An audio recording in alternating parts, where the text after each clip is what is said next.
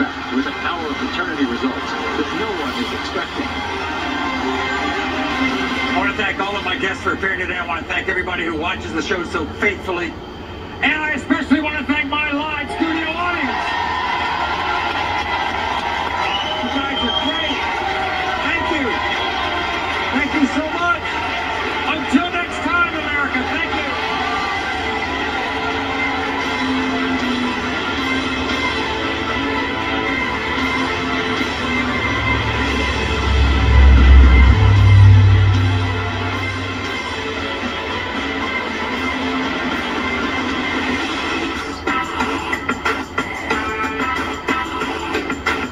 Right here on PHL 17.